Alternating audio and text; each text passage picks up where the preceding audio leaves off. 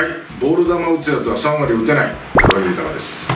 アウトロー詰まりがち高校球児です。お前らは言わないで はいということでですね、今回はですね、コメント振り返るっていうコーナーもあったんですけど企画で、そのコメントの中に本当にこの真面目にこういう場面をどう思いますかとかでそういうちょっと今日は技術系のとはいか、その豊さんにちょっと真面目なちょっとこのコメントを答えていただく、はい。この、えーコメントからえー読まさせていただきます。ランナー一塁の場面で、ランナーが三塁コーチャーのサインを見てるときに、一塁コーチャーが耳打ちしてるのをよく見ますが、あれはサインの確認ですか、うん。それとも走塁に関してのアドバイスですか？とサインの確認もあるよね。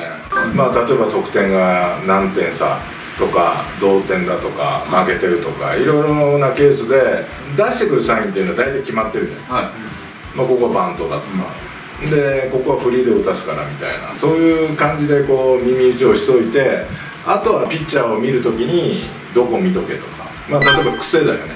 まあこの首にリズムがあるやつとか肩がちょっと入ってるやつとか、足をこうやっててちょっと入ったらホーム、はそういうところの癖の確認もあるしおあとは外野手のポジショニング。もうちょっとライト前にいるから気をつけとけよとか、はあとはやっぱゲッツーだよね。あとはセカンドゴロにタッチされるなとか。そういう確認をいろいろしてるそういう確認はもちろんなんですけど関係ない話してることってあるんですか？その中で。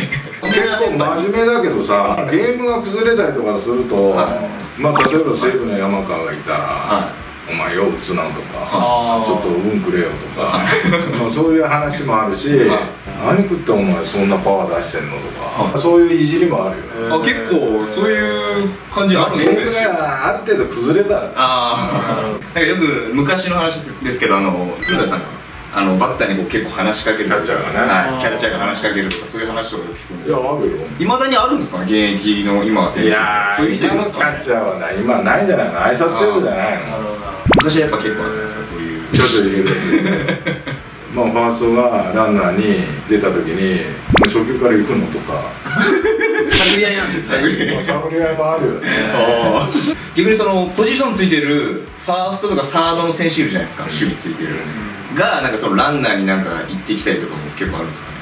いやあるある。まあジャイアンツ戦やってるとするじゃん、は次カープ戦じゃん、はい。でジャイアンツはカープと当たってきてるとかするじゃん、はそしたら次俺らがカープと当たるっていう時はローテーション的に巨人が当たったらローテーションになるわけよ。あだからその情報交換としてあいつどうだったって調子良かったとかそういうのがあるんですね。